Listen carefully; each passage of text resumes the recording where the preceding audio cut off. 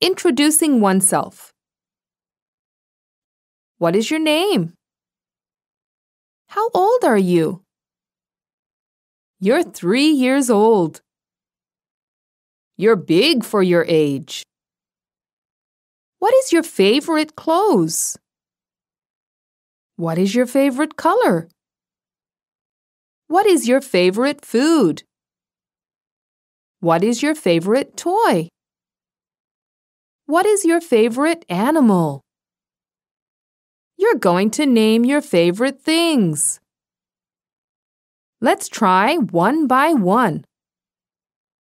Let's start with names.